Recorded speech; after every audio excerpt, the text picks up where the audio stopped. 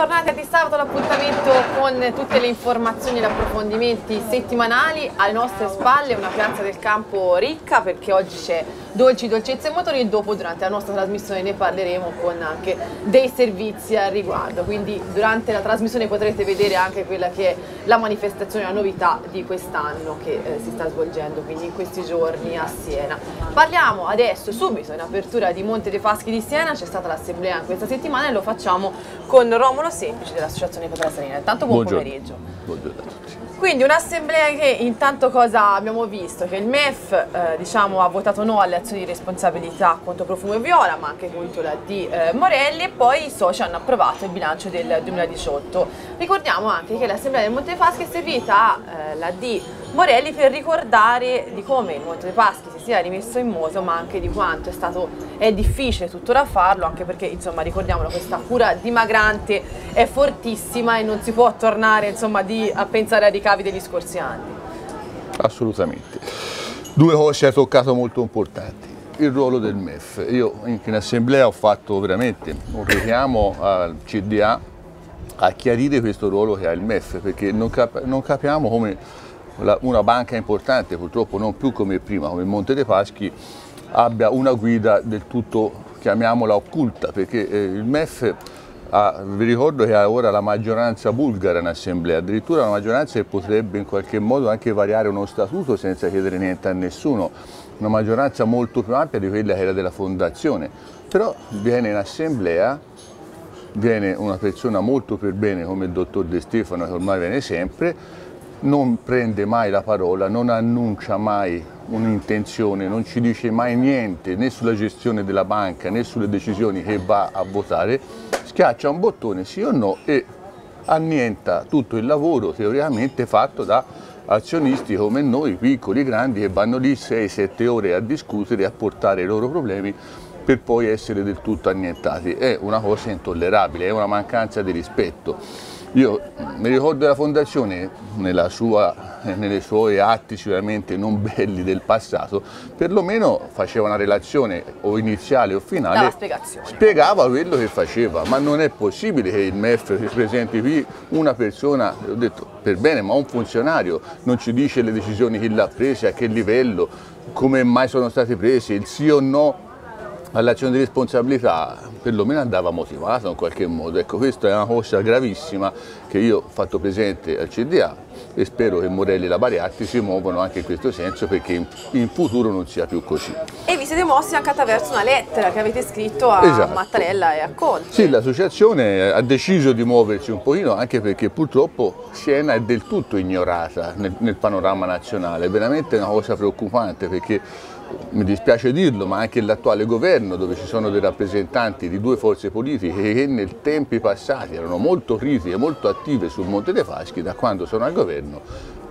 la questione Monte dei Paschi è sparita. Ora, dato che noi abbiamo in qualche modo delle interlocuzioni con persone amiche come Carlo Sibilia, Villarosa, Pesco, che sono state a Siena, sono state attive, cercheremo di sollecitare e di capire il perché di questo atteggiamento.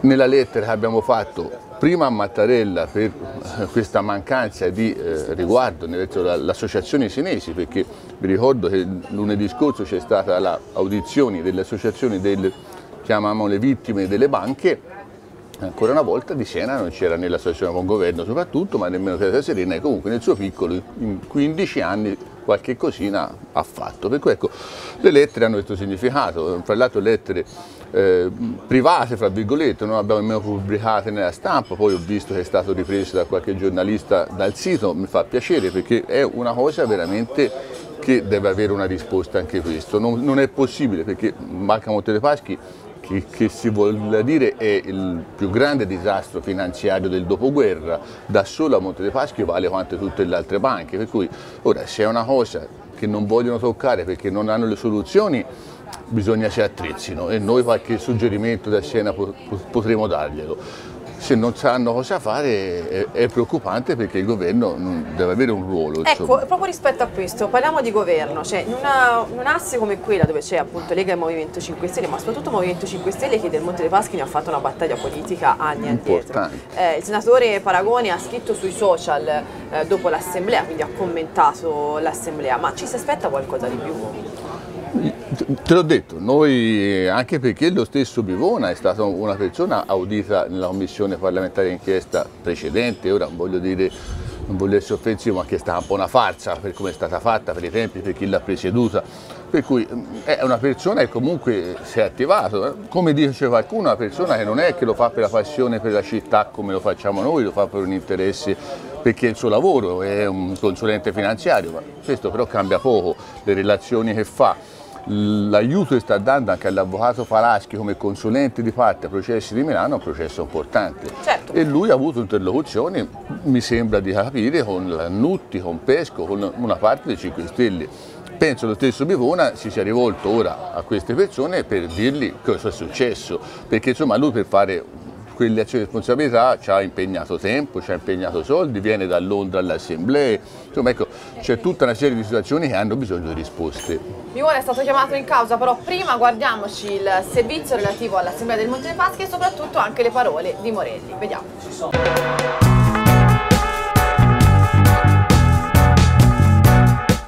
Approvato con il 99,97% del capitale il bilancio 2018 di Banca Monte dei Paschi di Siena.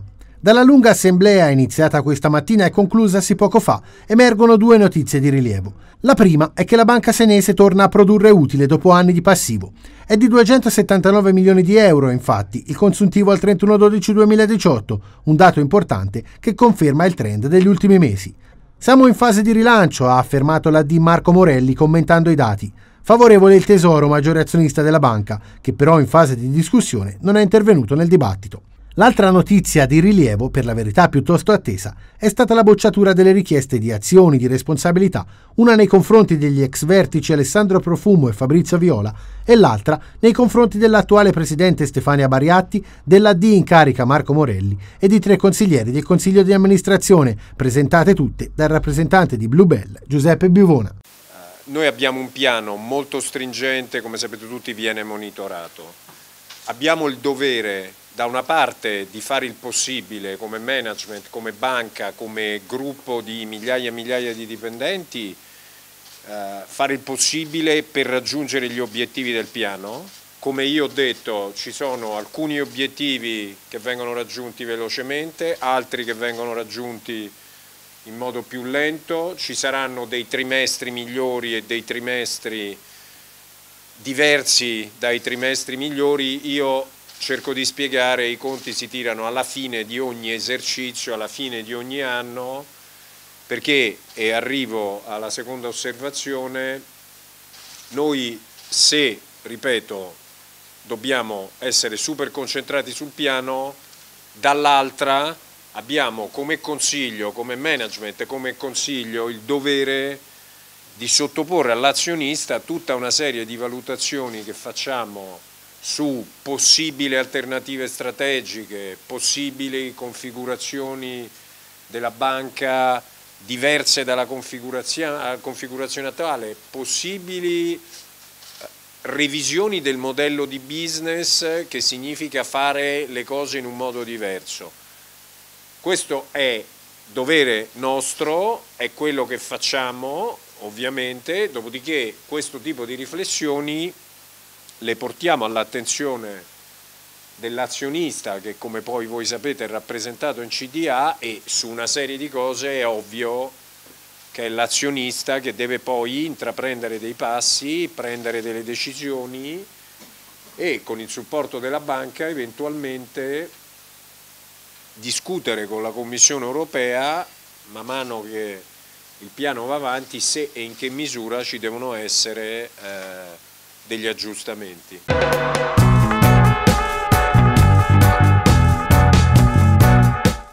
Abbiamo sentito anche le parole della Di Morelli al termine dell'assemblea, quindi nella conferenza stampa aperta ai giornalisti. Ecco, dalle parole di Morelli cosa si può, cosa si può intendere? Sicuramente come abbiamo detto in apertura una situazione ancora molto difficile, Morelli che fa anche un richiamo ai dipendenti dicendo che comunque il futuro eh, sicuramente del Monte dei Paschi potrà essere anche quello, cioè il coinvolgimento dei dipendenti, chiaramente ancora la strada è lunga.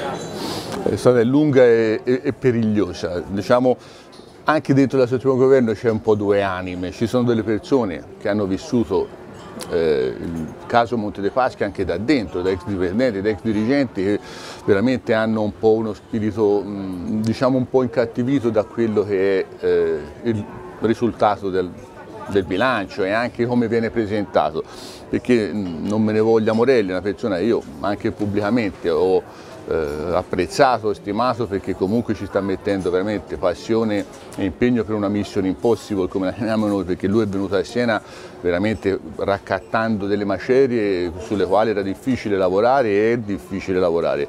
Per cui ci sono delle persone che guardano esclusivamente i numeri e purtroppo i numeri del bilancio anche quest'anno non sono numeri positivi, è inutile nasconderlo, come ho detto anche in assemblea ci sono stati, come dico sempre io, degli abbellimenti, de, delle misure del tutto legittime per carità, ma dei de, de modi di presentare il bilancio con, eh, abbassando il coverage eh, di alcune poste di bilancio, eh, facendo de, tra le pieghe, trasferendo delle quote degli utili aumentando fra virgolette gli utili, eh, portandoci delle poste sulle vecchie perdite dei crediti fiscali, per cui ecco, si, si è sempre visto che un bilancio eh, a volte non è che sia del tutto lineare, per cui qualcosa da dire c'è perché sono, molti dati sono in declino, la raccolta sta, eh, cioè ci sono dati fondamentali che non sono brillanti, questo è inutile negarlo e chi si ferma su questi non può che essere negativo.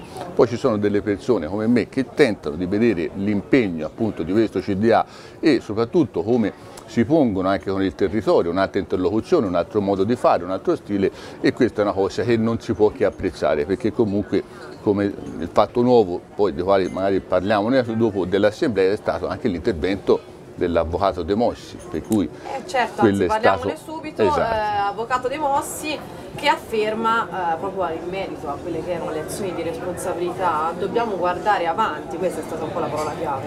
Sì, la, dobbiamo guardare avanti, anche lui è stato preciso abbastanza, non possiamo dimenticarci esatto, del passato. Del passato. Tanto è vero, come avete visto, io in assemblea ho fatto omaggio alla Presidente Mariatti del libro di Pietra Serena eh, Storia di un disastro annunciato, proprio perché comunque la vicenda Anton Veneta con tutto quello che è nato e con quello che sta venendo fuori ai processi di Milano, della quale dopo faremo un piccolo passaggio, eh, obiettivamente la Valle Mossi ha dato un fatto nuovo, correttamente ha detto sono intervenuto come azionista, ma comunque è sempre il sindaco di Siena. Certo. Ha fatto questo intervento molto equilibrato, ha fatto capire che l'attenzione ora è maggiore di quella è stata in passato da parte del comune, questo ci fa piacere. Come ho detto anche la Fondazione ha avuto un altro atteggiamento perché il Presidente è stato lì 7-8 ore come noi, non come prima che spesso arrivava, parlava certo. e andava via. Certo. Per cui ecco, io spero che questo cambiamento perlomeno di atteggiamento delle istituzioni cinesi porti a qualcosa di nuovo anche per quanto riguarda processi.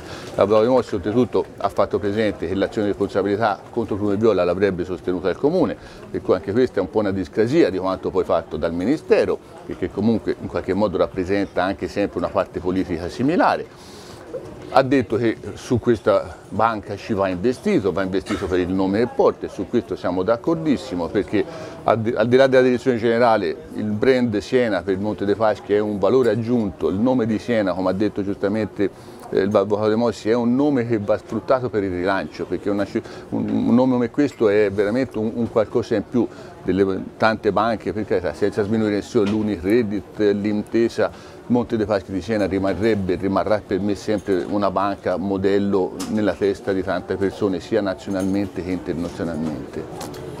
Prima è stato chiamato in causa Bivona, eh, ricordiamolo che è questo dell'intercettazione della banca Monte dei Paschi di Siena, il quale però parole ottimiste non le ha avute in merito no. a quello che il futuro di Monte dei Paschi, anzi ha anche affermato durante il suo intervento che il viaggio del Monte dei Paschi sarà corto, sia vicino a una prossima fermata che potrebbe essere perché no anche il capolinea. Ecco poi ha fatto notare anche quello che diciamo che non ci sono disegni strategici, che ci sono soltanto chiusure dei filiali e una riduzione del personale, insomma parole nette. Andiamoci a sentire e poi le commentiamo. Dopo tutto quello che è successo dal 2008 al 2015, avere in consiglio amministratori che non possono essere considerati estranei pur con gradi di responsabilità diverse alle gestioni 2008 e 2015 per i vari ruoli che ricoprivano di tempo in tempo sia un fatto assolutamente grave. Stesso discorso vale per il collegio sindacale. Noi abbiamo due sindaci su tre, incluso il Presidente, di cui uno in carica dal 2012 il, il ehm, sindaco effettivo Salvatori, peraltro anche rinviato a giudizio, e il presidente Cenderelli in carico dal 2015. Quindi a tutto questo si aggiunge anche la società di revisione che oggi interviene in assemblea e certifica i bilanci, la stessa società di revisione che ha certificato i bilanci dal 2011 in poi, di quali dal 2011, 12, 13, 14 e 30 giugno 2015 non conformi per pacifica ammissione della banca. Ma che senso ha? Ma chi con la logica del buon padre di famiglia tollererebbe una situazione del genere? E se questa azione di responsabilità verrà respinta? Ma io credo che in ogni caso sapere quella che è la posizione del MEF e del Ministro Tria, a quale che essa sia, è un'informazione importante per i soci, a, non solo di questa banca, di tutte le banche. Il Ministro Tria deciderà se intervenire a supporto di una mozione che ha unica tutela il patrimonio della banca, dei contribuenti e che è supportata da evidenze monumentali, oppure fare gli interessi dei banchieri. È una sua scelta e in ogni caso credo che sarà molto utile sentirgliela fare, quale che sia. Come commenta le parole della D. Morelli? Ma io credo che Morelli fa discorsi uh, che tutto sommato avrei potuto condividere so, il mese dopo, sei mesi dopo che si era insediato. Eh, sono passati ben più di due anni e a settembre sarà il suo terzo anno. E quindi io credo che le sue parole siano del tutto insoddisfacenti, ma sa, poi io come socio non è che mi interessano le parole, io guardo i fatti, questa banca non è in grado, sotto questo consiglio di amministrazione, in continuità con il precedente, di esprimere nessuna strategia che non sia la chiusura delle filiali, la riduzione dell'organico e eh, sostanzialmente la vendita e la cessione delle fabbriche prodotto. Quando il dottor Morelli avrà chiuso l'ultima filiale non gli verrà che chiudere la porta a chiave, spegnere la luce e quella sarà la fine della banca.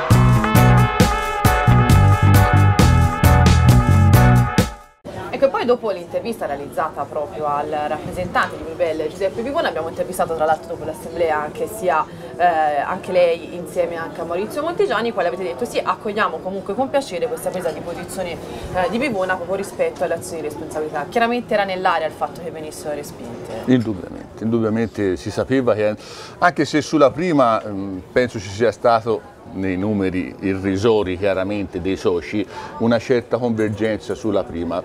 Sulla seconda anche lì d'accordo con il sindaco perché obiettivamente a parte il fatto suo di interlocuzione a livello istituzionale, ma anche per noi un'apertura di credito comunque verso questo CDA che do dovrà lavorarci sicuramente qualche altro tempo bisogna darglielo. L'importante è che capiscono questa necessità di fare un, un, certo cambio di passo, perché come abbiamo fatto presente in, in più persone, ci sono dei problemi come nell'NPL, ci sono dei problemi appunto di smantellamento di filiali, eh, addirittura di, di chiusura dell'estero sta praticamente il Monte dei Paschi a livello internazionale sta del tutto sparendo, cioè sono segnali veramente, al di là del fatto economico, anche dal fatto morale, veramente una cosa che a un senese, ora appunto a un, a un nome Giuseppe Bivona, con tutto l'affetto e la stima, può importare meno questo lato romantico per gente come noi. Certo, legata al territorio. Eh, questa sì. è una cosa che veramente certo. ci pesa, anche la,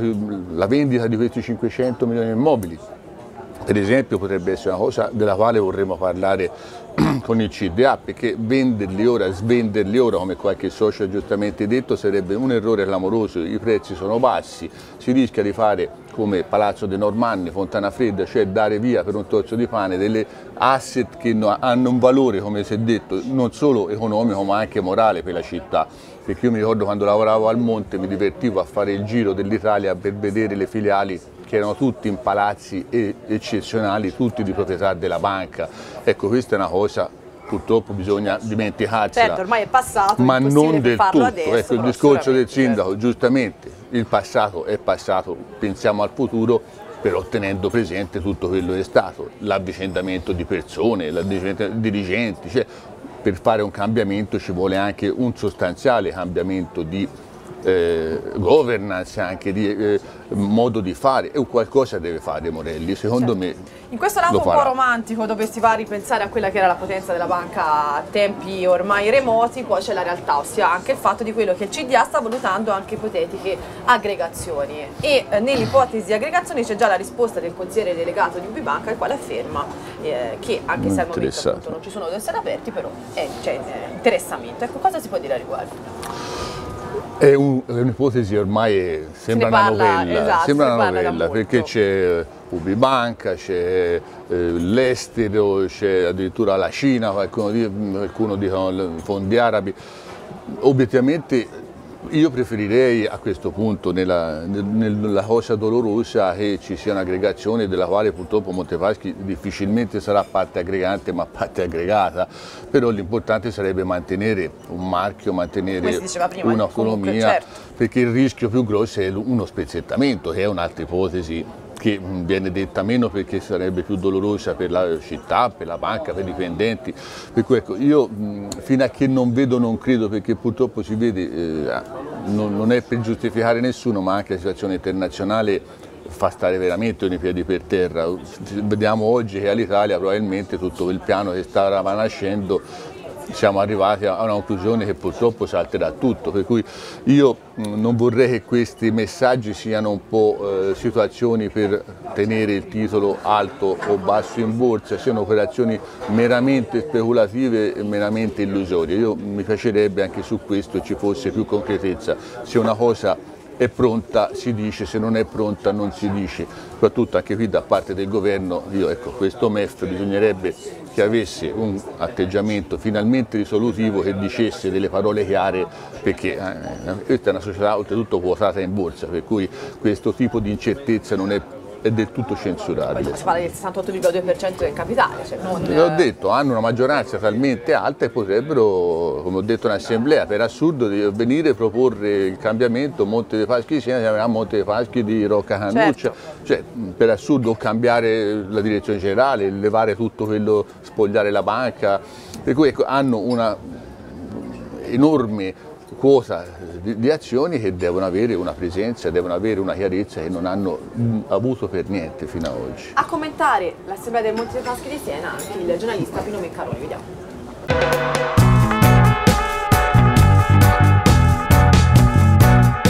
Sull'utile eh, è stato un piccolo utile, la capogruppo è ancora in perdita, io su questo non, non, mi farei grandi illusioni per ora.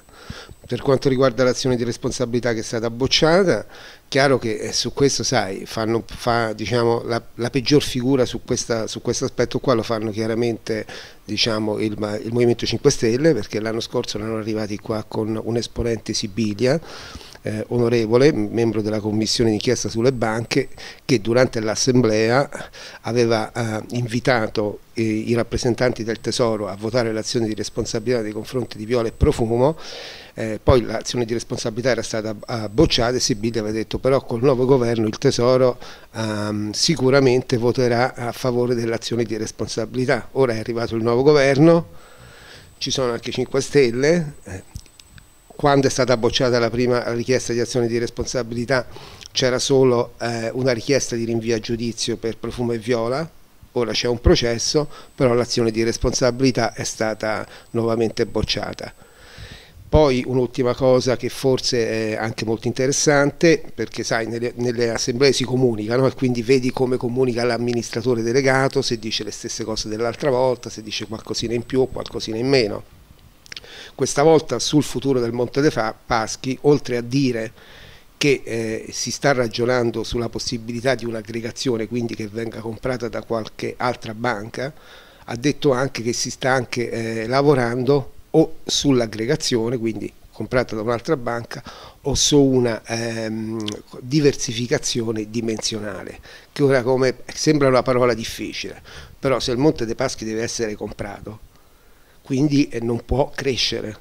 Quindi se c'è una diversificazione per dimensione può solo diminuire, può solo dimagrire, quindi l'altra possibilità che rimane è che facciano uno spezzatino della banca.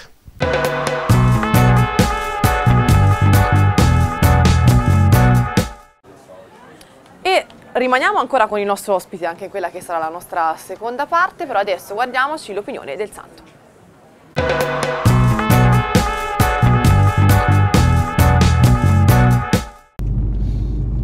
Buongiorno a tutti, è di questi giorni la nuova ordinanza che obbliga, diciamo così, a eh, portare la bottiglietta dell'acqua ai padroni dei cani che li portano a fare i bisogni fuori in città. Un provvedimento che evidentemente si è reso necessario perché purtroppo, come eh, spesso accade, molti sono maleducati e fanno fare i propri bisogni in ogni dove e quindi creano anche dei disturbi ai cittadini. Io credo che questo provvedimento, come è un provvedimento che è stato preso anche in altre città d'Italia, penso a Genova, sia un provvedimento un po' diciamo così per lavarsi la coscienza appunto parlando di acqua perché purtroppo io credo che chi non raccoglieva i bisogni dei propri cani prima non butterà l'acqua nemmeno ora con questa ordinanza perché è un fatto di, di cultura, è un fatto eh, che eh, si guarda a queste cose poi magari la stessa persona che si lamenta della pipì del cane la vedi buttare la cicca per terra e quindi è proprio un fatto di cultura. Ma quello di cui volevo parlare non è tanto la nuova ordinanza perché ci adegueremo tutti noi proprietari di cane l'abbiamo già fatto. Ma è la polemica che eh, è scoppiata intorno a, questo, a questa ordinanza. Chi è favorevole, chi è contro, chi vorrebbe eliminare tutti i cani chi, tutti i proprietari di cani. Ma la cosa eh, buffa, secondo me, e come ho sempre detto, andrebbe analizzata dal punto di vista antropologico anche, è appunto questa polemica, fiu, questi fiumi di parole che si spendono su Facebook e sui social su questa vicenda che, se ci pensate bene, è una vicenda veramente molto piccola rispetto a quello che è successo. Non ho visto assolutamente fiumi di parole quando è, è crollato il Monte dei Paschi, quando l'università, quando l'università eh, ha, ha, ha, avuto il buco di bilancio, oppure anche ora quando qualcuno appunto dell'università è stato assolto. Eh, oppure non vedo per esempio notizie eh, giornaliere o anche settimanali riguardo al processo sul Monte dei Paschi. Io credo, io credo purtroppo che eh, questa città viva di, solo di piccole cose e ci si, ci si eh, accanisca l'un l'altro anche senza motivo eh, su piccole cose e sui temi importanti invece tutti coperti allineati e solo eh, ogni tanto si fa qualche puntatina nei, nei, nei, nelle cose importanti. Questo dispiace perché eh, purtroppo a mio avviso denota una città che è ferma, una città che mh, mm, appunto si gingilla con le piccole cose e non ha ancora, ahimè, capito che non è tanto la pisciatina del cane, passatemi il termine, quello che determinerà il futuro di questa città, di questo territorio, ma il come reagiremo a tutto quello che è successo in questi anni. Io spero che i senesi prima o poi, e continuerò a dirlo, ne prendano atto e comincino veramente a pensare al futuro e non tanto che è importante, parliamoci chiaro, a dove fanno i bisogni i nostri animali pelosi. Buongiorno a tutti.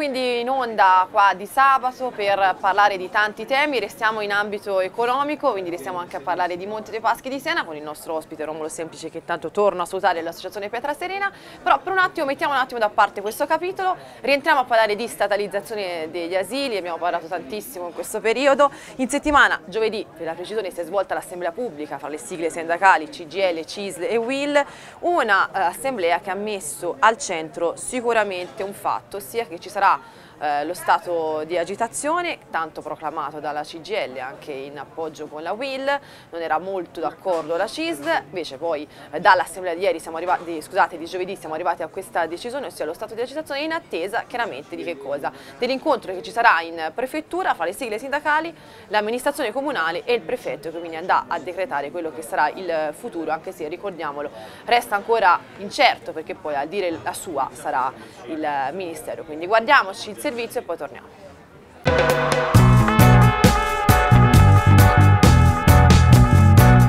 È stata un'assemblea molto vivace, eh, su 127 votanti 126 hanno votato per lo stato di agitazione, quindi il mandato che hanno dato alle organizzazioni sindacali è chiaro e noi lunedì andremo con questa richiesta rinnoveremo all'amministrazione la richiesta di eh, abbandonare questo progetto. Se lunedì conciliamo, bene, ognuno ritorna a fare le sue cose con calma e è quello che noi auspichiamo, perché non vorremmo che l'amministrazione eh, arrivasse a uno scontro con i lavoratori che poi si ripercuoterà inevitabilmente anche sull'utenza. I genitori de delle nostre strutture hanno firmato, come avete visto, un una lettera, hanno scritto, più di 600, questo ci, ci, fa molto piacere perché vuol dire che i genitori riconoscono quello che è il valore dei nostri servizi. E guarda anche le scuole dell'infanzia statale eh, ci hanno chiamato eh, dicendoci che appoggiano la nostra battaglia. E questo è, è, molto importante perché vuol dire che è passato il messaggio che non era uno scontro fra due tipi di servizi ma che ognuno rispettando la propria identità ed individualità è giusto che nel territorio resti. Quindi le insegnanti dello Stato sono disponibili a fare eh, mobilitazione o qualcosa con noi.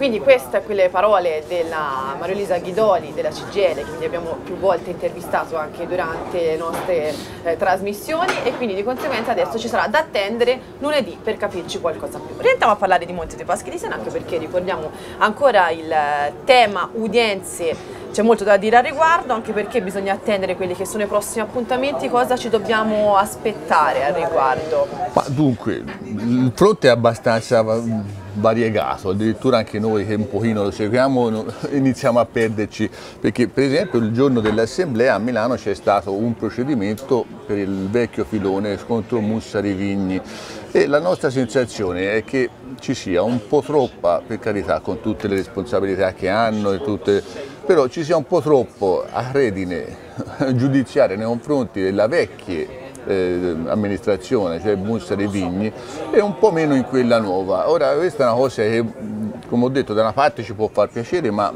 da un discorso lineare non ci piace tanto, perché gli stessi magistrati che chiedono ripetutamente, hanno chiesto ripetutamente l'archiviazione di Profumo e Viola, sono quelli che chiedono sempre eh, il rinvio a giudizio e eh, il giudizio insomma, di, degli altri. Ecco, servirebbe Ma, una sorta di discontinuità. Eh, esatto, perché appunto noi come abbiamo sempre detto Fumaggiola purtroppo hanno le stesse colpe dei precedenti perché hanno fatto più o meno le stesse manovre in continuità. Ora, detto questo, si apre una stagione intensa perché mi sembra sono già state fissate ben 11 udienze del processo contro Profumo e Viola per quanto riguarda i derivati. Poi ci sarà anche quella il 21 maggio che riguarda l'NPL, sempre a carico di Profumo e lì il eh, magistrato Salvini deciderà probabilmente se anche di rinviarli a giudizio o meno, per cui si stanno un po' accelerando delle situazioni e grazie all'attività del buon governo e soprattutto dell'avvocato Falaschi obiettivamente. Io infatti ho fatto presente anche in assemblea che sarebbe l'ora che non solo queste poche persone con una fatica immensa e dei costi anche certo. abbastanza elevati proseguono questa azione che è un'azione che non vuole essere né punitiva né giustizialista, vuole essere un'azione di verità, di chiarezza, perché qui c'è, come ho detto, migliaia di persone che sono state azzerate, patrimoni del tutto azzerati, persone che invece siano addirittura dei suicidi, delle aziende fallite, Ecco, questo non è tollerabile, per cui io ho chiesto pubblicamente in assemblea e mi sembra di aver capito formalmente che il comune attuale un'intenzione l'avrebbe, la fondazione mi sembra, come ti ho detto, più eh, aperta a questa collaborazione.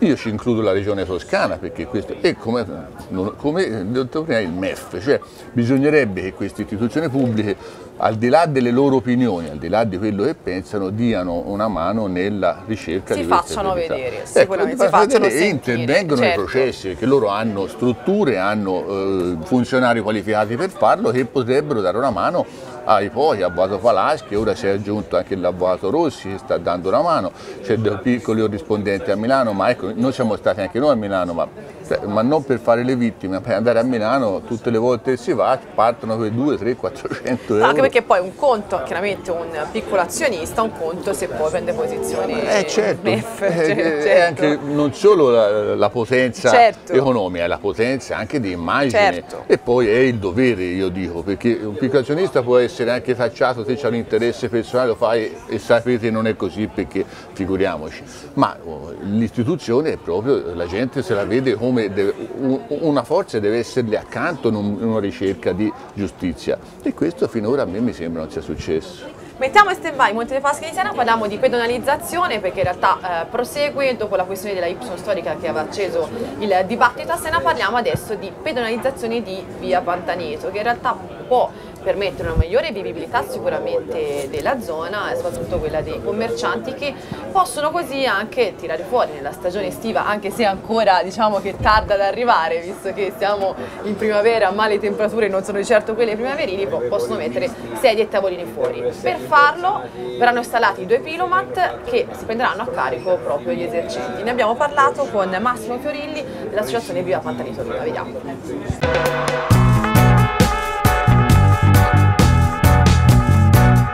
Abbiamo fatto questo accordo col comune per il pagamento di questi pilomat e così ci permetterà di mettere i tavoli tutti i giorni fuori. Sono più posti e la gente che mangia fuori e per il benessere anche della via sicuramente chi ci abita ci sono delle migliorie importanti.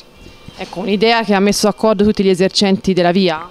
Sì, sì, quello sicuramente, è per noi importantissimo. E è il nostro lavoro e sicché ci permetterà sicuramente più gente. Le tempistiche secondo te quali saranno? E le tempistiche ci stiamo ancora lavorando, e infatti spero in settimana che di chiudere tutto. Come funzionerà poi il pagamento dei pilomat? Allora, il, pala- il pagamento dei Pilomat eh, andrà sul COSAP, sul suolo pubblico, in percentuale del, del suolo pubblico che viene occupato da un esercente e verrà pagato per eh, tre anni. Questa è la convenzione che faremo il comune. Di che cifra si parla? I Pilomat eh, si parla sui 15.000 euro, comunque il comune farà una gara d'appalto e poi su quello decideranno.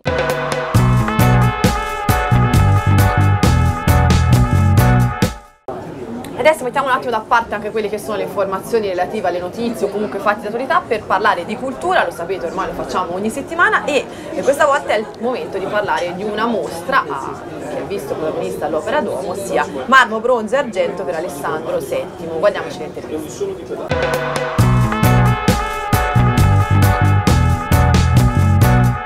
Il Museo dell'Opera di Siena apre le sue porte all'oreficeria e alla scultura monumentale dell'età di Papa Alessandro VII, il senese Fabio Chigi. I preziosi manufatti, conservati nel museo o nella sacrestia della cattedrale, saranno esposti nella cripta del Duomo di Siena.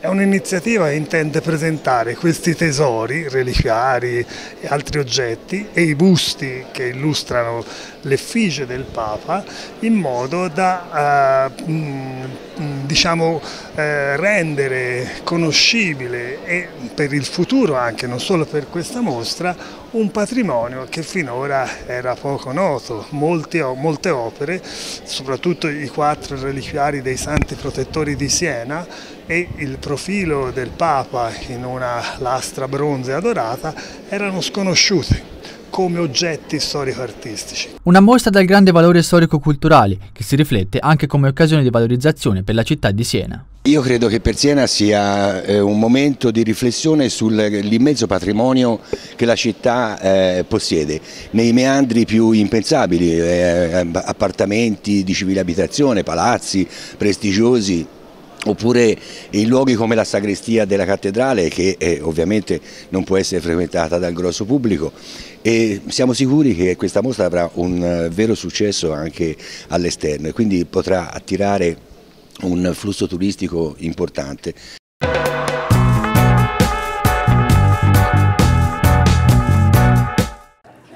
Apriamo un altro capitolo, sia quello relativo allo sport, al basket per la precisione, bene coinvolgere anche il nostro ospite. Prima di parlare di quelli che sono eh, cioè, i temi più legati alla Menzana, in realtà sempre legati alla Menzana è questo argomento, sia perché in realtà 112 anni fa nacque proprio lì il basket, ossia stiamo parlando del Campino di Sant'Agata che il comune ripristinerà. Guardiamoci l'intervista realizzata a Massimo Sportelli, l'assessore.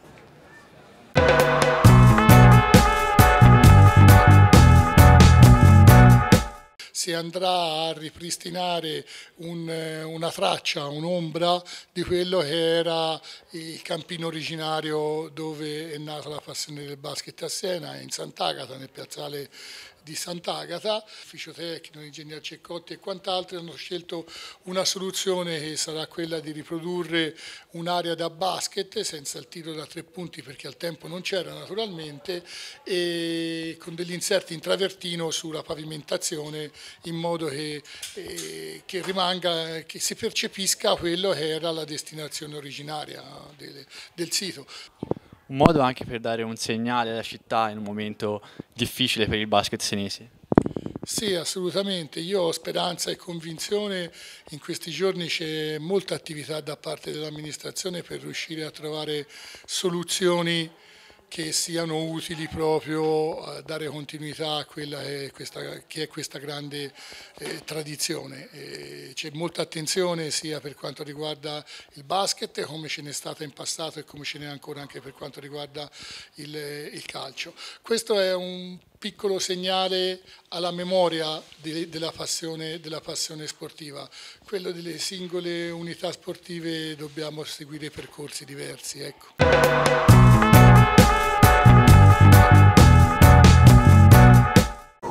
Insomma un momento legato, molto romantico, legato anche al passato. Qua oggi questa puntata è molto romantica, facciamo veramente un ping pong fra quello che era il passato e il presente. Quanto può essere importante un ripristino del genere? Insomma là veramente si sono mossi i primi passi, chiunque ha voluto fare basket probabilmente passava da lì. No, eh, cioè, io sono stato anche un menzanino, giocato nella Mezzana, ma quello che mi lega tanto a questa iniziativa, che mi piace perché rivedere questi flashback di una scena che purtroppo non c'è più, non c'è più non solo nella materialità ma nemmeno purtroppo nella moralità, è una cosa che mi fa piacere, non solo perché la prima squadra di pallacanestro femminile, la famosa squadra di Naomi Pesciolini, ci giocavano mia zia e mia nonna per esempio, erano due delle atlete della famosa squadra, della prima squadra femminile di basket che calcò quei, quel, quel parquet, esatto, così, anche se così. non era parquet, di, di Sant'Agata. Per cui ecco, queste iniziative di un ritorno di una scena, di, di un'immagine di una scena che funzionava, che affascinava, mi sembra sempre una cosa molto positiva quello che è purtroppo l'attuale stride perché ora certo. la Menzana rischia di perdere il titolo certo. sportivo, ha avuto vicende veramente è un peccato perché l'operazione fu fatta tre anni fa, alla quale partecipammo in tanti senesi di eh, salvataggio, di contribuzione spontanea, sembrava veramente il preludio di una risposta molto, molto significativa. Purtroppo, non per fare il critico, anche lì purtroppo dai 3, 4, 5 mila tifosi dei tempi d'oro, quando siamo stati a doversi mettere le mani in tasca, mi sembra non siamo arrivati a 500 persone. Ora, poi purtroppo anche lì la gestione non doveva essere certo, certo. di questi 500 tifosi, doveva essere raccolta un po' più dalle istituzioni del tempo, cioè doveva essere creato, io non voglio condannare i macchi, anche perché l'ho, l'ho seguita un po' meno, perché poi le cose quando non posso avere in qualche forma di un controllo, ma un'attenzione più specifica, capire le cose non ne parlo volentieri certo. perché potrei dire delle cose sbagliate. Però ecco anche questa storia di questa famiglia Macchi che viene, le è stato dato come si fa sempre a scena ci sapre troppo Mano libera, verso certo. le, arriva il- quello dall'esterno, non voglio fare eh, riferimenti al Monte dei Paschi, ma capite bene di che parlo, arriva il Messia dall'esterno, sembra arrivi il Salvatore della Patria, tutti si prostrano a lui, poi dopo quando eh, eh, iniziano ad arrivare i problemi tutti spariscano e tutti diventano i primi accusatori di quelli che avevano omaggiato E adesso infatti è arrivato Dattile, ossia colui che aveva messo sul piatto e finalmente c'è il piano di rilancio della Menzana Basket. E adesso ricordiamolo, eh, quindi dopo questo periodo di lungo silenzio ci sarà una conferenza stampa alla quale parteciperemo, vi terremo aggiornati in- a metà settimana, mercoledì per la, per la precisione, dove quindi di conseguenza sapremo di che cosa si tratta e quindi che futuro potrà avere la eh sì, Menzana, anche il se ricordiamolo. il titolo sportivo e tutto quello che ne consegue. Quindi c'è da attendere eh, e noi vi terremo aggiornati nelle nostre edizioni del TG, nella nostra costante informazione. Io ringrazio il nostro ospite, però Grazie prima di chiudere una questione delicata, in assemblea comunque Montepaschi se ne, era- se ne è parlato molto, sia quella relativa alla questione diamanti. Mm, è difficile fare chiarezza. Molto difficile, eh, coinvolge diverse banche, è un'altra operazione purtroppo spazzatura la chiamo perché veramente anche l'immagine della banca, come è stato detto, da- come è stato detto da alcuni soci, eh, non è pensabile che una banca come il Monte, ma come le altre, possa vendere dei pacchi a- ai, ai propri clienti senza avere fatto una capillare ispezione di quello che veramente di quello si trattava. Per cui ecco, obiettivamente eh, è un brutto capitolo e poi un capitolo che purtroppo inciderà sul bilancio, sul conto economico della banca perché è uno dei richiami fatti eh, sul bilancio di quest'anno, gli accantonamenti per le cause legali di questo come per le altre cause legali sono. irrisori rispetto alla realtà che potrebbe essere, per cui è un altro fattore che potrebbe incidere.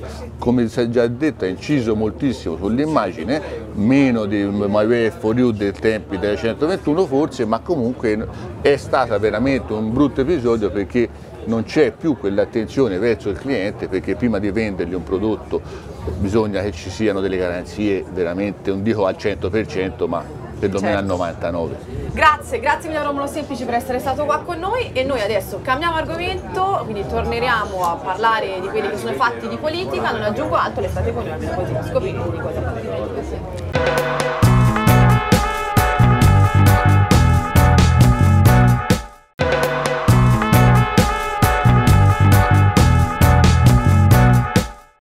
Quindi adesso spostiamoci da quelli che sono i temi economici, quindi come abbiamo visto parlando di Monte dei Paschi di Siena prima con il nostro ospite, a quelli che sono temi prettamente politici. E se da una parte c'è Giovanni Soti, governatore di Liguria, sempre più vicino a Giorgia Meloni, eh, quindi pronto ad ammazzare chiaramente tra virgolette Forza Italia, sarà tra l'altro oggi alla conferenza a Torino, conferenza programmatica proprio di Fratelli d'Italia, scusate, a Siena c'è invece Bernardo Maggiorelli che si è spostato e quindi è oggi ospite con noi, si è spostato da Forza Italia a Fratelli d'Italia. Intanto buon pomeriggio. Buon pomeriggio a voi.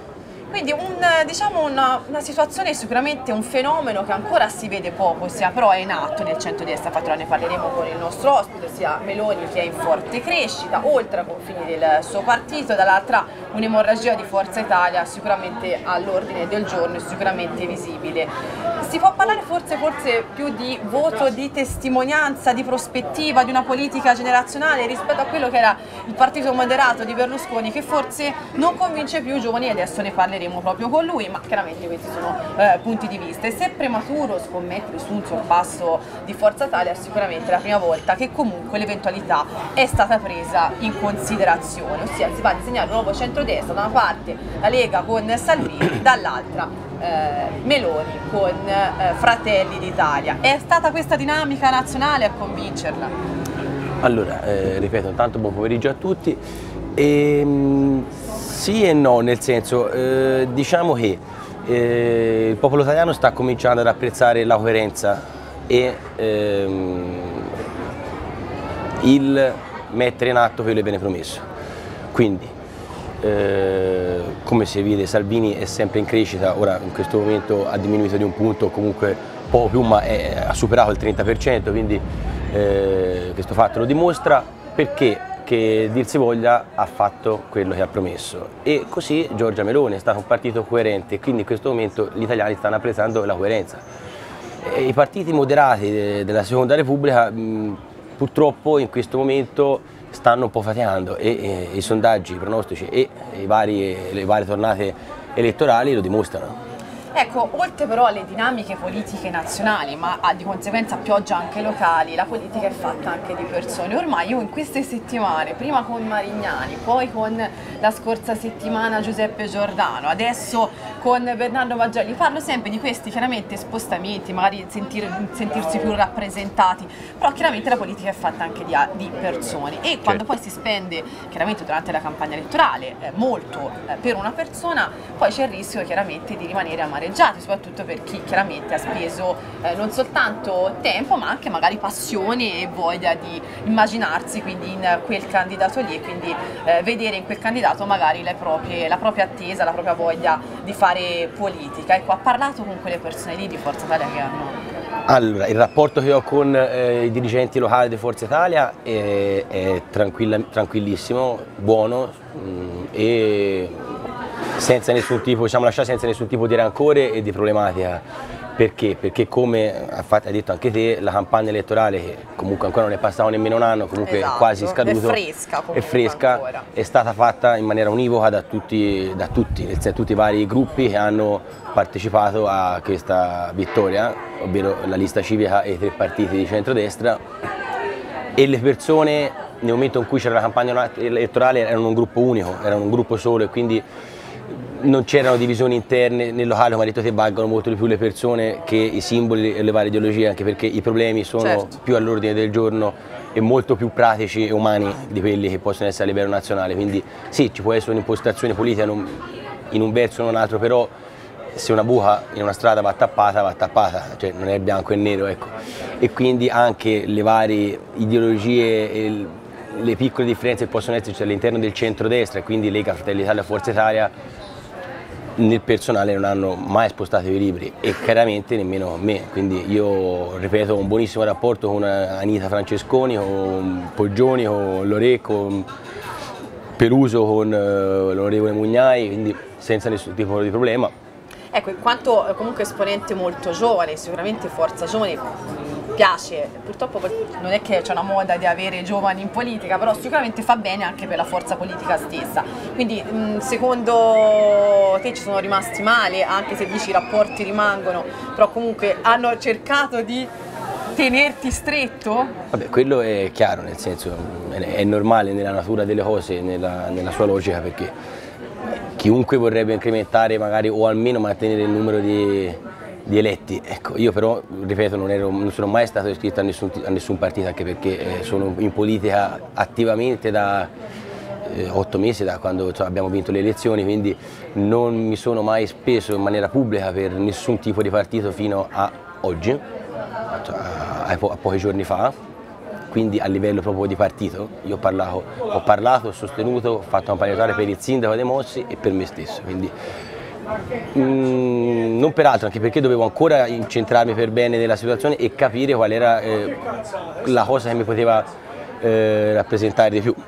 Ecco, mm, prima di entrare in quelli che sono gli argomenti, le dinamiche, le informazioni costanti quindi della settimana e quindi andare a analizzare magari anche eh, fatti extra politica, eh, parliamo invece di quelle che sono più le dinamiche eh, politiche che magari possono coinvolgere o meno più esponenti, ossia comunque sei del 96, quindi giovanissimo, eh, la domanda tra virgolette è chi te l'ha fatto fare, ma in realtà si legge in un altro modo, ossia è sempre più difficile vedere persone, soprattutto ragazzi giovani, impegnati, sia di un colore che in un altro, sia, sia Certo, a sinistra che a destra. Eh. Comunque diciamo che è raro, solitamente la politica, soprattutto in- in- a livello locale, è fatta magari da persone che eh, la fanno da anni. comunque- Vecchi polponi. Esatto, esatto. Quindi comunque è difficile vedere persone comunque giovani che si mettono eh, a disposizione della città e non soltanto spendono anche del proprio tempo, quindi per quello che è il valore collettivo. Come è nata questa, questa scelta? Ma allora la cosa è nata in maniera molto naturale perché allora, io ho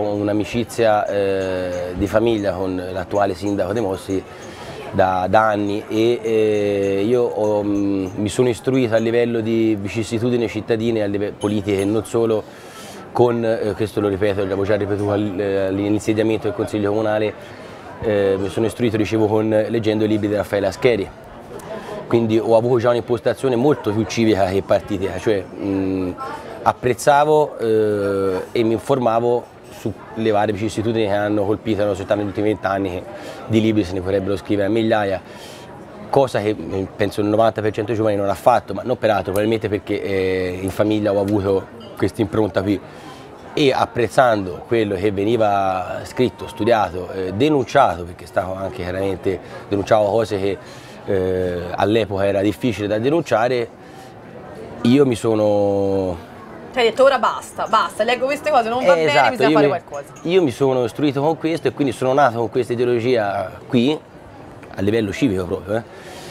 e mi sono chiaramente nel momento in cui eh, l'avvocato e poi ora sindaco De Mossi ha deciso di candidarsi, io non avevo alternative che, cioè, che provare a esprimere tutto quello che nel tempo avevo acquisito da- da- dalle sue battaglie, le battaglie di tanti che speriamo che non siano state vane, insomma, ecco. Cambiamo per un attimo argomento, quindi lasciamo quelle che sono le dinamiche politiche da una parte, parliamo della festa della polizia, ricordiamolo, 167 anni eh, della polizia che si è svolta in questa settimana a Siena, un momento importante non soltanto per la polizia stessa, ne abbiamo parlato la scorsa settimana con il questore Capuano proprio al posto del nostro ospite Maggiorelli, ma un momento veramente importante anche per la città e soprattutto un momento in cui si fa un bilancio, quindi si eh, mette un punto su quelle che sono state le attività del 2018. Andiamoci a vedere il servizio.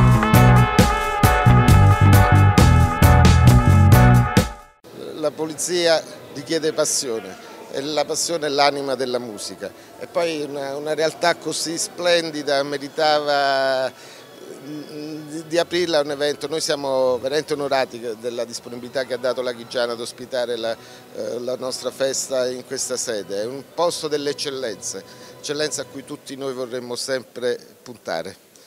Il palio è difficile, come dicevo prima, far coincidere le nuove norme che eh, disciplinano le manifestazioni con le tradizioni del palio. Un, un percorso peraltro già iniziato negli anni addietro andrà eh, fatto. Trovo dalle parti del- delle contrade e dell'amministrazione comunale una grossa sensibilità.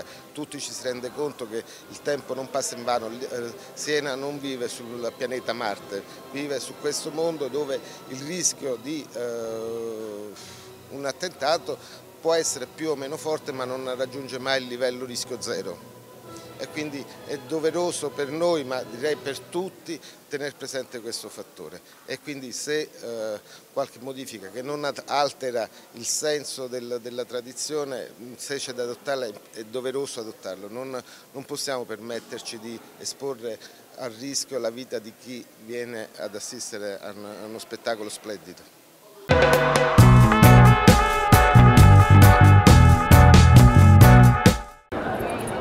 Festa della polizia è sicuramente Fratelli d'Italia, appunto, diciamo partito a cui ora ti sei accostato, quindi anche l'hai detto per dinamiche nazionali, insomma il tema della sicurezza, delle forze dell'ordine e la polizia lo mette in primo piano. Rispetto alle posizioni che ha assunto Giorgia Meloni stessa, insomma anche posizioni nette, chiare, come, come ti ritrovi? Allora, eh, la Polizia di Stato e tutti gli apparati eh, di controllo del territorio, difesa eccetera, quindi carabinieri e quant'altro, eh, vivono un momento storico particolare perché c'è un allarmismo eh, giustificato dai, dai fatti. E purtroppo in alcuni casi non hanno questi corpi i mezzi per contrastarlo per via delle poche risorse risorse di tutti i tipi, eh, cioè parlare dalla divisa eh, strappata alla benzina per le, per le auto che hanno 400.000 km, quindi diciamo che siamo in una situazione che deve migliorare e speriamo che eh, sembra che Salvini eh, da Ministro dell'Interno stia provando a farlo, la nostra posizione eh, chiaramente parlando per il partito di Fratelli d'Italia è chiara, cioè nel senso il sostegno alle forze dell'ordine è, è- è sempre perché hanno, hanno bisogno di sentirsi sostenute perché in alcuni momenti eh, si trovano ad affrontare situazioni che non sono, non sono semplici con mezzi che sono molto ma molto scarsi e scusa, dicevo a Siena eh, siamo in una situazione di questo genere più per mancanza di capitale umano, cioè più di mancanza di uomini, di, di divise sul territorio che di mezzi. Ecco. Ecco, sicuramente infatti ha preso posizione proprio Giorgia Meloni in questi giorni, ossia rispetto a quella decisione del governo di escludere dal concorso gli allievi di agenti di polizia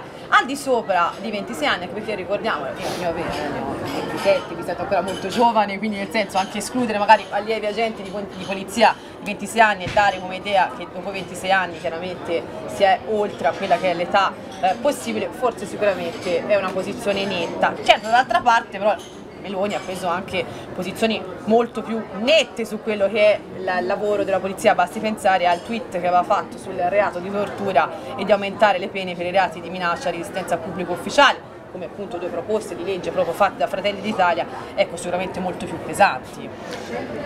Sì, eh, allora nel senso mh, sicuramente va messo in atto uno svecchiamento de, del corpo perché eh, come abbiamo detto si ritrovano delle situazioni che oltre a quello manca capitale umano non solo come persone ma come persone nel senso che eh, un sessantenne, nulla toglie dal sessantenne che ancora lavora in polizia perché è solo onore, però si ritrovano delle situazioni molto difficili e quindi eh, è giusto che ci siano opere di svecchiamento, secondo me. Poi eh, io non sono il ministro degli interni, quindi sicuramente sarà molto più, più preparato di me su questo tema.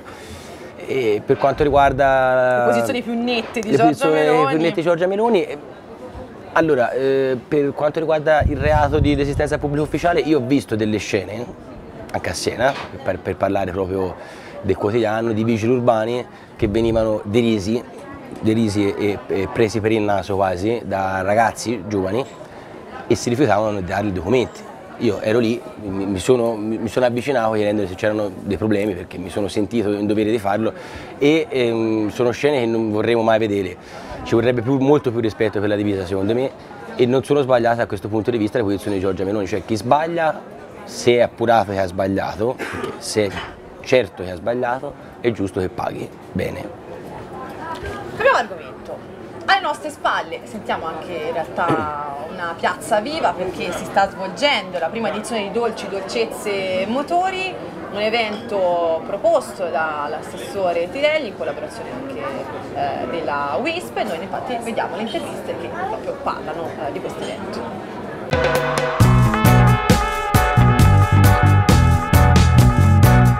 Una nuova iniziativa promossa dal Comune di Siena insieme alle associazioni di categoria con la finalità di valorizzare le due IGP innanzitutto, il Ricciarello e il Panforte Senese. È un'occasione eccezionale di utilizzare Piazza del Campo come vetrina di queste eccellenze e non soltanto del Panforte e del Ricciarello, ma diciamo di tutta la produzione dolciaria del nostro territorio. Credo che sia una scelta importante perché quando siamo arrivati esisteva in Piazza del Campo una manifestazione che si chiamava Ciò Così, che di fatto non valorizzava le nostre prelibatezze locali, ma era un'occasione di poter degustare soltanto la cioccolata. In questa occasione le pasticcerie senesi eh, offriranno anche eh, cioccolata, ma di produzione locale. A partire dal mercato nel campo fino ad oggi le varie iniziative che si sono fatte hanno portato degli ottimi risultati. Si semina e quindi penso che poi raccoglieremo nel tempo cercando di eh, fare sì che questi eventi siano eventi che si ripetano nel tempo e, con, e, iniziano ad essere degli appuntamenti fissi. Le risposte ci sono state, c'è stato anche chi ha chiesto più spazio rispetto a quello che avevamo proposto. Ci sarà la possibilità di degustare non soltanto dolci e dolcezze senesi, ma anche vini e liquorosi passiti e vinsanti prodotti sul nostro territorio. Io credo sia molto importante, intanto eh, si rivalorizza eh, diciamo, prodotti locali che, sono, che questo è sempre molto importante, insieme ai prodotti locali poi si prova anche a incentivare e a motivare anche le, le, famiglie, i giovani a, a, essere presenti e a partecipare con questa diciamo, edizione del, prima edizione del WISP Tuning for All che mh, dopo le ultime due edizioni che è stato presente al Motor Show eh, la WISP lo propone qui in Piazza del Campo, in uno scenario bellissimo e quindi potremo mettere insieme le, eh, i prodotti i buonissimi prodotti senesi insieme anche a un'attività per, le persone più giovani e anche per le famiglie. Ovviamente con il massimo rispetto per l'ambiente dove siamo, con eh, ovviamente le macchine saranno rigorosamente spente, saranno in, in esposizione, eh, saranno davanti al comune, non saranno eh, dentro le piazze del campo e quindi rispetto eh, massimo dell'ambiente bellissimo in cui siamo, ma anche eh, motivazioni ai giovani, anche per un pubblico diverso, eh, per poter avere delle iniziative diverse in un momento anche particolare della stagione.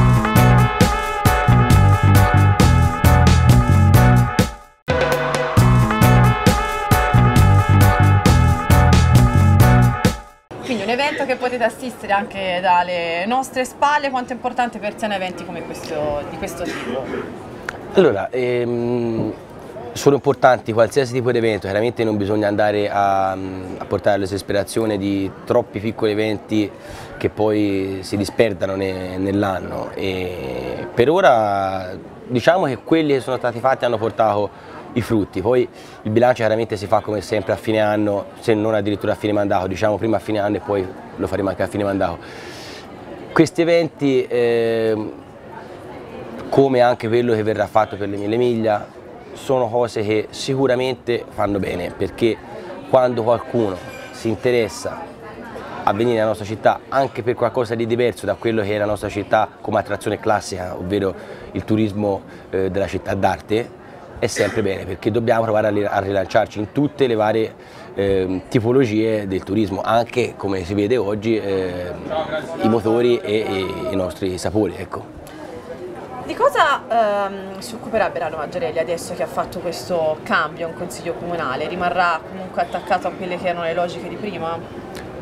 Allora, eh, la, la, mia posizione da consigliere comunale e quello che eh, metterò in atto sarà sicuramente sulla stessa linea, ecco, non è che se no sarei, peccherei di incoerenza. Ecco. Quindi ehm, io, non, ehm, io sono Presidente della Commissione di decentramento e in questo momento la cosa principale che, di cui mi sto occupando è quella, nel senso stiamo portando avanti un regolamento eh, sostitutivo a quello che abbiamo abrogato a fine anno scorso per quanto riguarda le ex consulte territoriali a questo punto.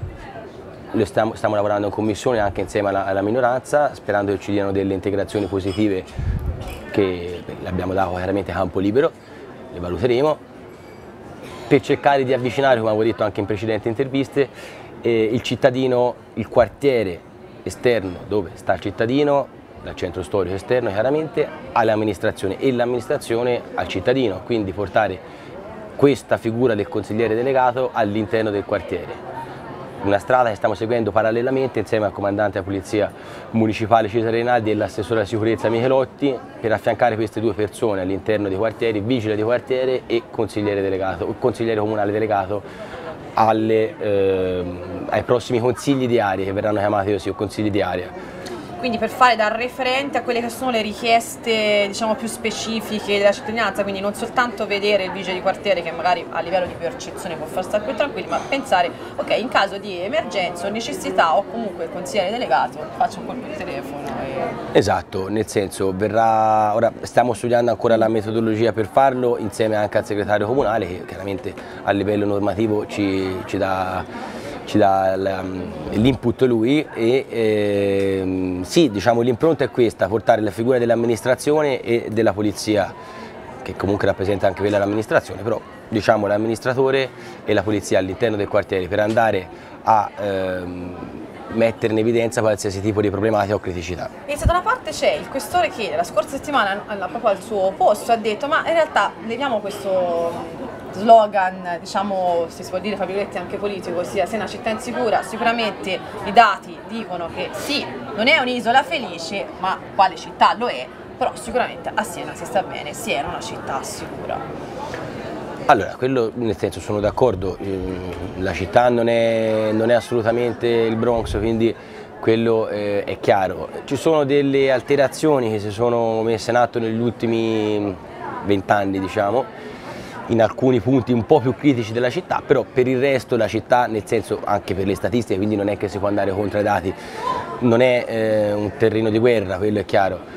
Ci sono alcune criticità, come dicevo, che vanno affrontate nella giusta maniera, senza esagerare o portare troppo nemmeno l'attenzione su questo, si vanno risolte e basta. Ecco. Ecco, durante durante questa intervista che abbiamo fatto, quindi fino a pochi minuti fa, hai eh, diciamo, nominato eh, due persone per la maggiore, ossia Salvini e eh, Giorgia Meloni. Ecco, questo è forse un messaggio da analizzare, ossia magari per un giovane attivista politico, forse non più legato a quelle che sono le dinamiche passate relative a quelle lunghe riunioni nei partiti, magari dove ci si, deli, cioè, diciamo, ci si andava a identificare veramente sui contenuti e di conseguenza anche sul leader, forse nella testa di un giovane politico sono anche vicinissimi come impronta politica, come figure. Ma allora diciamo che Salvini eh, ha un passato diverso da quello che è il presente, la Meloni no, è stata ancora più coerente di Salvini la Meloni, perché diciamo la verità Salvini è partito come eh, federazione padana, come secessionista, come... Certo, cambiato esatto, diciamo, durante quindi, la lunga esatto. corsa Poi politica. si è adattato ai tempi, ha riscoperto anche zone che non sapeva... Dimenticate Esatto, un po' dimenticate, però ora sta facendo bene, quindi bisogna dare atto e sta facendo bene. I numeri è inutile andarli contro, come dicevo anche prima, Giorgia Meloni è stata coerente da sempre perché tutte le politiche che voleva mettere in atto eh, sono rimaste quelle. Ora sono sulla stessa lunghezza d'onda, quindi perché no una possibile alleanza di governo futura con un centrodestra eh, a trazione, diciamo Salvini perché è colui che, che ha la, la, maggioranza, però mh, con un buon apporto del partito di Giorgia Meloni che eh, ricordo alle politiche dello scorso anno a Siena ha preso un punto percentuale in più che a livello nazionale, quindi a Siena per esempio è ben radicato Fratelli d'Italia e sta crescendo, Forza Italia è sceso sotto la soglia del 10 e Fratelli d'Italia sta crescendo, siamo intorno a un 5-6% e i sondaggi sono l'unico partito insieme al PD ora sta crescendo, quindi in questi mesi in cui eh, sei stato un attivista di Forza Italia, quindi consigliere comunale, comunque eh, che portavi il nome di Forza Italia, cosa ti faceva arrabbiare di quel eh, partito lì che poi ti ha portato di conseguenza avere anche qualche mal di pancia e quindi collegarti a Fratelli d'Italia? Le dinamiche nazionali? Sì, sì, sì, sì, certo. Allora, le dinamiche nazionali sì, perché ehm, vedo un, una maniera sbagliata, secondo me, Come chiaramente di affrontare eh, questo governo cioè un'opposizione distruttiva invece che costruttiva. Quindi eh, secondo me l'opposizione è difficile sia un'opposizione fasulla, soprattutto a livello di governo, però c'è opposizione opposizione, nel senso c'era un contratto di governo del centrodestra, siamo alleati in tutti i comuni, in tutte le province, in tutte le regioni. Cioè tu a livello locale è molto semplice comunque arrivare a unire queste forze. Esatto, e poi a livello nazionale c'è stata questa problematica che non è stato raggiunto il, il, minimo indispensabile per poter comporre il governo, però eh, diciamo che non mi è piaciuta come è stata gestita l'opposizione a questo governo e le varie uscite che hanno fatto i vari leader eh, nazionali Forza Italia che si stenta a capire anche quali siano, perché Berlusconi appare poi sparisce, appare poi sparisce, ogni tanto si alternano i suoi mh, sottoposti e però non, in cui non vedo nemmeno un, un futuro possibile leader, ecco, quindi anche questo, cioè non vedo un futuro anche nel partito, non vedo un'organizzazione che possa portare a qualcosa di positivo in futuro. Cambiamo argomento completamente, prima di salutare il nostro ospite passiamo a quella che è la musica, ossia la colonna sonora della settimana, con il tema della settimana realizzata dal nostro Massimo Pilorzi.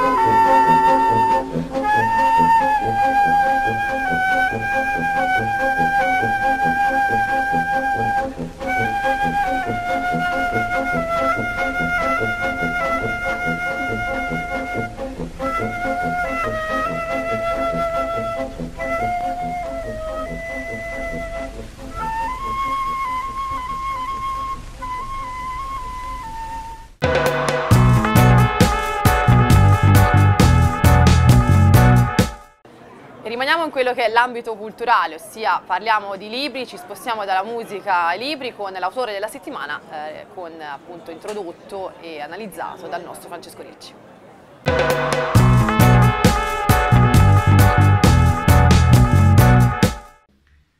Amici del programma di sabato, buon pomeriggio. Il libro che vi presento oggi è un giallo, è un giallo scritto da Fausto Tanzarella intitolato Il cerchio del fantasma. Fausto Tanzarella è noto non solo come editore, non solo come pubblicista, ma anche come autore di romanzi gialli ambientati nella Siena del XIV secolo. Stavolta invece la sua attenzione si concentra sull'attualità, sulla contemporaneità, dal momento che il cerchio del fantasma è ambientato nella Siena dei nostri giorni. Dico nella Siena dei nostri giorni, ma in realtà la trama è orchestrata talmente bene che l'ambientazione senese è soltanto una delle ambientazioni che rinveniamo. Né potrebbe essere altrimenti dal momento che eh, parte importante del romanzo è legata al mondo dell'antiquariato, al mondo della critica, eh, d'arte, al mondo nel quale i dipinti e in generale manufatti artistici vengono acquistati, vengono venduti, ma ahimè a volte può anche capitare che vengano spacciati per veri quelli che veri non sono o ancora che vengano venduti dei dipinti, degli oggetti la cui provenienza è estremamente dubbia. E di conseguenza, proprio perché il eh, mondo legato alle opere d'arte è ben presente nel cerchio del fantasma, di conseguenza accanto a Siena incontriamo anche altre città, anche altri luoghi. Il cerchio del fantasma, lo dico subito, è un giallo che mi è piaciuto tantissimo. Mi è piaciuto tantissimo, è una delle ragioni, l'ho appena detto, è proprio legata alla capacità di ideare e di orchestrare una trama estremamente credibile ed avvincente. Poi vi è anche un uso sapiente dei dialoghi. Quando io parlo di uso sapiente dei dialoghi, intendo che la maniera di esprimersi dei personaggi riflette e dunque è coerente, riflette quella che è, quello che è il livello di istruzione, quella che è la provenienza sociale, quello che è anche l'ambiente all'interno del quale una persona si trova a vivere ed operare. Ma questo romanzo ha un ulteriore pregio. Ora noi abbiamo detto tante volte proprio in trasmissione che il romanzo giallo, a partire dalla seconda metà dello scorso secolo, si è venuto sempre più a caratterizzare come una sorta di romanzo sociale, vale a dire di un romanzo che consente di comprendere il tempo presente, con le sue storture, i suoi problemi, le sue contraddizioni. Però il romanzo giallo consente anche, e Tanzarella lo sa fare benissimo, di accompagnare l'attenzione per la realtà sociale con quella che è la realtà più propria, più personale, più oscura dell'individuo, vale a dire quella dimensione inconscia dove crescono i fiori del male, dove ciascuno di noi ha i suoi mostri, derivati in larga parte da complessi, da traumi, da ferite che non si sono mai rimarginate. Ed ecco allora che nel delineare, ad esempio, un personaggio come quello di Katia, personaggio veramente ben riuscito, Fausto Tanzarella spinge propria attenzione, il proprio sguardo nei sottosuoli dell'anima di Katia, ehm, dimostrando in maniera convincente alla fine come eh, le persone nel loro modo di agire molte volte eh, si lasciano guidare né potrebbero fare altrimenti da quella dimensione oscura, quella dimensione dove parole come ragione, volontà, intenzione non hanno peso alcuno. Ecco, direi che il cerchio del fantasma è un giallo veramente avvincente proprio perché la trama, lo sguardo sulla realtà del nostro tempo, in particolar modo della realtà senese, e al tempo stesso lo sguardo verticale, questo immergersi nelle profondità dell'io, eh, coesistono in maniera avvincente. E alla fine in questo romanzo tanto il lettore interessato alla dimensione eh, dell'intreccio quanto il lettore che invece eh, vuole attraverso il romanzo avere una fotografia del proprio tempo, quanto infine il lettore più interessato alla dimensione dell'interiorità profonda del personaggio, ebbene, tutte queste tipologie di lettori credo che saranno soddisfatte. Fausto Tanzarella Il cerchio del fantasma, un giallo sicuramente da leggere. Buon pomeriggio.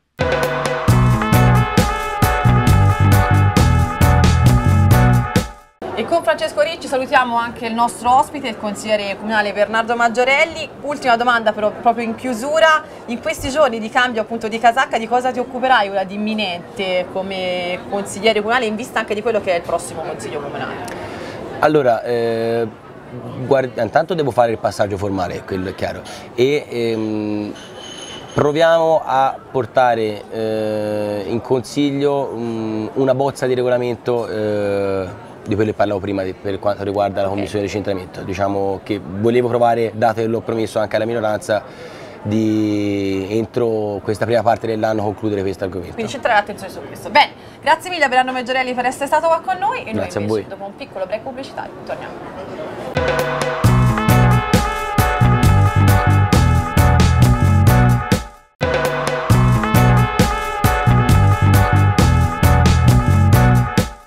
E sono rimasta da sola ma ancora di sabato non è terminato, parliamo adesso della notizia che in realtà ha colto tutti di sorpresa, sia quella che dopo più di 21 anni Sorginetta ha lasciato San Girolamo e si trasferirà a Livorno. Guardiamoci l'intervista.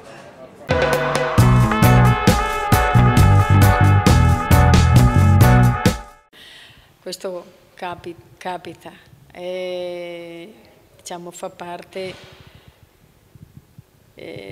del, del nostro, insomma, questo nostro andare e venire ecco, davanti alla necessità. Non è che Siena non abbia bisogno, vengo, come si dice, vengo trasferita ma viene, viene una mia consorella insomma, ecco, a, a sostituirmi. Ecco. Quindi dopo ognuno con la sua personalità, con le sue capacità, logicamente, insomma, ecco.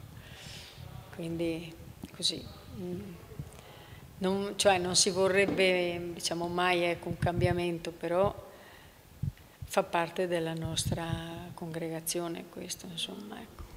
Quali sono i più bei ricordi che le rimarranno di Siena? Ma prima di tutto penso, intanto le- gli ospiti che vengono a mangiare già oggi dice ma come vai via, vai via, ecco, eh, questo di tante persone che abbiamo potuto aiutare, insomma, ecco, dico potuto aiutare e perché una città mi ha aiutato a fare questo, quindi non sono da sola. Il grazie va detto anche a- soprattutto alla città, ecco, degli aiuti che abbiamo usufruito, insomma. E i più grandi risultati che sente di aver ottenuto qua a Siena quali sono? Beh, il riuscire a, a ricomporre qualche famiglia e pure dare un sostentamento, diciamo, di quello che fa bisogno, ma poi sentirti dire grazie che mi hai aiutato, ora posso fare con le mie braccia e le mie gambe.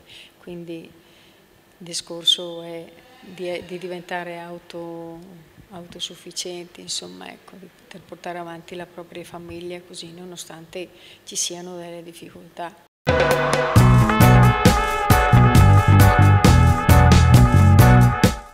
E adesso invece nella nostra ping pong eh, relativa ai fatti della settimana passiamo a parlare di palio, ossia il- la giunta comunale ha deliberato la composizione della commissione veterinaria e Stefano Calbucci che fa parte dell'equipe veterinaria ben dal 2012 eh, eh, prenderà il timone e quindi eh, dopo l'uscita di Guido Castellano sarà lui quindi il, eh, colui che prenderà appunto il timone dell'equipe veterinaria, noi l'abbiamo raggiunto telefonicamente.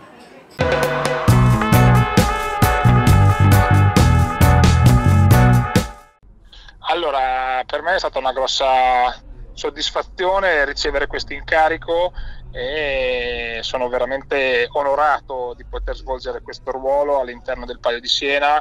Per me è una doppia soddisfazione, sia dal punto di vista professionale come medico veterinario e soprattutto anche personale, perché io sono un grande appassionato di Paglio da sempre, per cui per me è veramente una grossissima soddisfazione. Sì, io è dal 2012 che faccio parte della commissione veterinaria comunale, quindi diciamo sono sette anni di esperienza alle mie spalle, è un'esperienza molto formativa e molto bella. Beh, diciamo che le cose sono sempre migliorabili, si può si può mh, diciamo, ragionare, trovare delle soluzioni che magari col tempo possono apportare modifiche in senso positivo alla manifestazione. Diciamo che la manifestazione ha un, un buonissimo, anzi un altissimo livello di salvaguardia dei cavalli, per cui tutto è migliorabile, però siamo a livelli altissimi insomma, di, di rispetto per questo animale. Mi sentirei di dire che siamo molto più avanti eh, di tante altre manifestazioni nella visione di, di tutto l'insieme della, dell'addestramento e delle visite della, per il cavallo da paglio. Beh, i cavalli che giovedì inizieranno l'addestramento è sicuramente un bel uh, gruppo di cavalli, abbiamo cavalli espertissimi con uh, esperienza in piazza di diversi anni, abbiamo cavalli che anche se ancora devono debuttare hanno comunque anni di esperienza sul protocollo e abbiamo d'altra parte con i cavalli che sono entrati dopo le visite di sabato dei buoni cavalli di 4 anni che rappresenteranno sicuramente un ottimo futuro per la festa.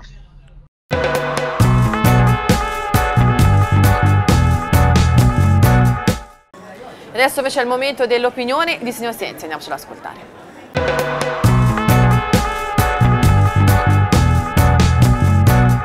Ha avuto meno risonanza di quanta ne meriti. Magari il titolo, mm, La città dei mestieri, è un po' ambizioso, ma è certo che si tratta di una iniziativa che definisco preziosa. La Commissione eh, Solidarietà delle Contrade, che sta svolgendo un pregevole lavoro, facendo onore al nome, assieme agli economi ha stipulato una convenzione per, con l'azienda per i servizi a, ehm, alla persona che ha messo a disposizione spazi all'interno dei quali vivranno per cinque anni laboratori di scambio e formazione per attività artigianali. Insomma si cercherà di salvare gli antichi mestieri che più che altrove a Siena sono necessari, basti pensare ai bisogni delle contrade per le monture, per le bandiere, per i braccialetti, ma più in generale a quelle attività di cui si sta perdendo il, il seme e che oltretutto possono garantire sbocchi lavorativi più ampi a favore dei tanti giovani disoccupati o sottooccupati. Sono state fatte le cose molto seriamente, due anni di studio, approntamento di un piano dei costi, eh, ricerca di adeguati spazi poi offerti, come dicevamo, dall'ASP, che a più riprese ha beneficiato di donazioni da parte degli organismi eh, contradaioli. Si realizza così un, un vecchio sogno, e cioè esperti non più operativi, ospiti magari delle strutture eh, per anziani, assieme ad artigiani e artisti in attività, insegneranno i vecchi mestieri ai giovani volenterosi. Daranno vita a laboratori eh, per la salvaguardia, lo studio, la valorizzazione e la diffusione degli antichi mestieri. Un passaggio di testimone che ha tanti significati, tra cui quello di avvicinare generazioni diverse che solitamente non dialogano per motivi sociali che è inutile ripetere. In città esistevano ed esisteranno ancora eh, singoli, spesso volontari, che aiutano eh, gli economati delle contrade. Solitamente sono persone avanti con gli anni che saranno lieti di comunicare il loro eh, sapere, lasciando così una traccia indelebile della loro abilità. Se l'iniziativa, come tutto lascia supporre, avrà successo, sarà stato dato un segnale importante che dovrà spingere altri enti e istituzioni su questa strada con costi ritengo contenuti, con risultati a beneficio della nostra cultura e per favorire magari la nascita di botteghe, eh, mettendo così almeno un freno ai laboratori del cibo che da alcuni anni stanno invadendo la città. Mediatore dell'iniziativa è il Consorzio per la tutela del palio sotto l'egida del Magistrato delle Contrade. Questa è anche una risposta a chi incolpa ingiustamente gli organismi di immobilismo e paliocentrismo. Ancora un segnale per coloro che dall'esterno non hanno ancora capito quale livello di cultura e civiltà le contrade stiano difendendo. Per i miei commenti settimanali eh, sono sempre alla ricerca, non sempre fruttuosa, di buone notizie. Questa finalmente è davvero ottima.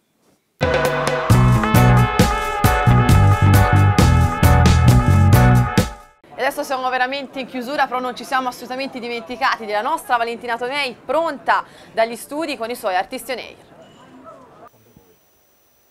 Cara Simona, oggi ad Artisti On Air c'è un gradito ritorno, quello di Gianmatteo Geminasca, perché è un ritorno, perché lui in realtà era stato da noi, se non sbaglio, era ancora il 2018, vero? Era ancora il 2018, fine 2018, sì. Allora, eri stato qua da noi per parlarci insomma di un bel risultato che avevi ottenuto grazie a Via Pisana 99, ricordiamolo perché grazie a questo bel risultato, a questa soddisfazione, finalmente oggi possiamo presentare il tuo video.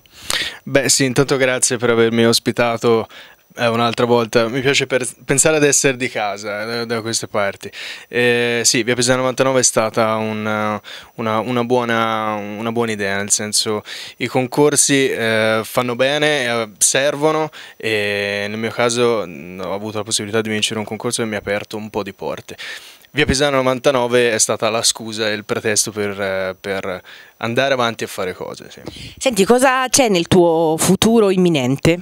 Futuro imminente c'è un disco che dovrebbe uscire, che uscirà eh, d'estate, quest'estate 2019. Ci sono un bel po' di canzoni, tra cui Via Pisano 99 e un, diciamo un po' di vita un po' di vita raccontata un po' di vita raccolta in questi 26 anni e un po' di live stai, stai andando in giro? Sì, sto facendo un po' di sto diciamo lavorando in dei contesti molto interessanti per quanto riguarda i live un po' di festival un po' di situazioni interessanti sì. bene bene allora ci sono tante novità quindi in realtà eh, questo non è un, è proprio un arrivederci perché eh, mi auguro insomma che con l'uscita del nuovo album tornerai a presentarcelo a Radio Siena, lo sai, ci teniamo sempre molto. Assolutamente sì, non vedo l'ora.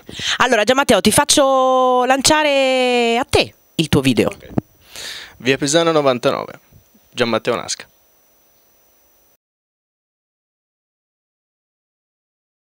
C'erano Silvia e Conny che giocavano a pallone Dio per fare il figo poi sfondai pure il portone C'era mia sorella che mi proteggeva con quegli occhi di veleno Ricordo con orgoglio il bar di via Pisana ed io sui tavolini a guardare Futurama. Ricordo tutti i compiti da fare, ma giocavo a. C'era pure Alberto, chissà che fine ha fatto. Voleva far l'attore, chissà se ce l'ha fatta. Ricordo le sue scarpe appese allo stendino, il saluto sempre uguale di quello stronzo del vicino. Ricordo quel momento fosse falso, ti prego sparami. Poi le scrissi quattro righe su di un foglio profumato, lei neanche le lesse, ma nemmeno ci speravo. Hai fatto proprio bene, amore mio Ricordo quei capelli, lei ci teneva a farsi bella, magari non per me, anche se già l'amavo. Ricordo le sue mani intorno alla vita, magari avrei voluto che fosse la mia. Fra le molecole e gli atomi a riposo mi scordo di pensare e ricordare che fra lucciole e zanzare non è l'ora di dormire Che devo lavorare mm, E pagarmi l'affitto. Oh, Di questa casa di merda.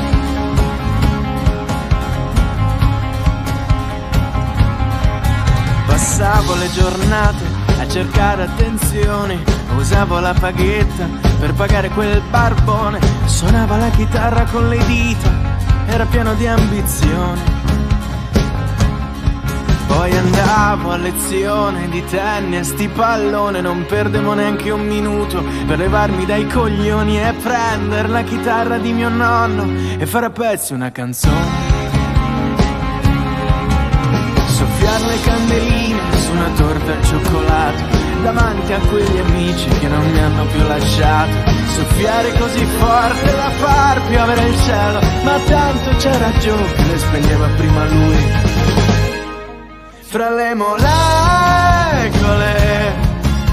E gli atomi a riposo mi scordo di pensare e ricordare che fra luce e zanzare è l'ora di dormire quei sorrisi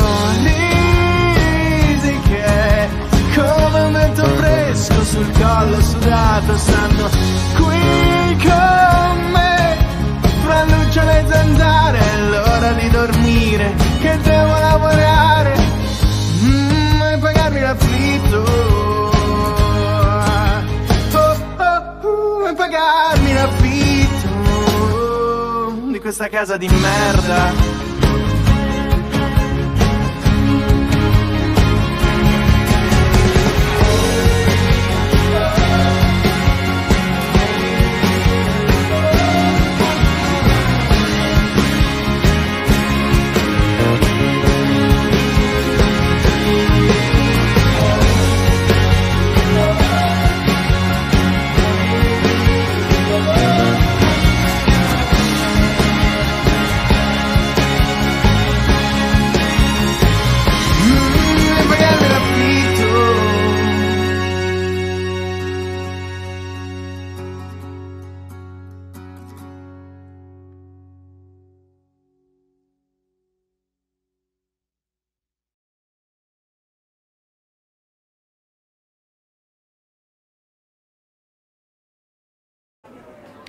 E con Valentina Tomei chiudiamo veramente la nostra trasmissione. L'appuntamento non è al prossimo sabato perché eh, faremo vacanze di Pasqua anche noi come le scuole, no? stiamo scherzando chiaramente, l'informazione prosegue, va avanti, vi terremo aggiornati costantemente anche durante quello che è il periodo eh, di vacanza, però ci prendiamo una piccola pausa quindi noi torneremo il sabato successivo per raccontarvi quelli che sono i fatti della settimana, gli approfondimenti, chiaramente un appuntamento con i nostri ospiti, le nostre rubriche, quindi restate con noi anche per questo pomeriggio perché l'informazione prosegue, le nostre trasmissioni ugualmente e grazie per essere stati chiaramente con noi.